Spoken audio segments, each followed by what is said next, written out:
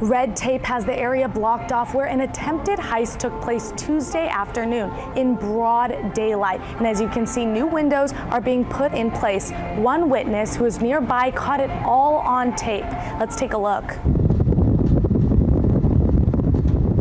The sheriff's office received a call of two subjects armed with sledgehammers who were in the process of smashing the outdoor uh, display case that contained Rolex watches and trying to gain access to those items.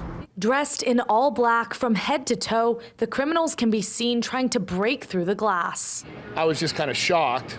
You know, it's pretty brazen to do something like that at noon, and it's just really upsetting to put everybody in that kind of uh, jeopardy. All of the commotion caught the attention of the business right next door, Nectar Juice Bar. Yeah, I was in the store, uh, you know, working, and one of the employees from uh, Devon's came around the back.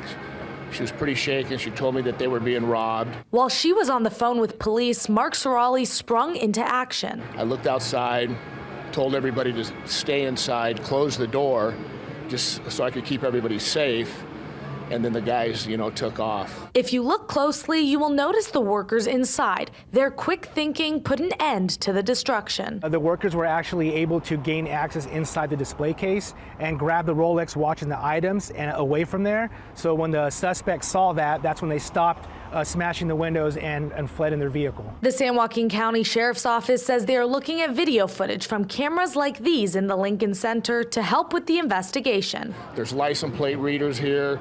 There's uh, super super good uh, cameras all around. So it doesn't happen that often, you know, to do something like that. It's just sad. In Stockton, I'm Anahita Jafari, KCRA 3 News. The San Joaquin County Sheriff's Office says there are no reports of any injuries at this time.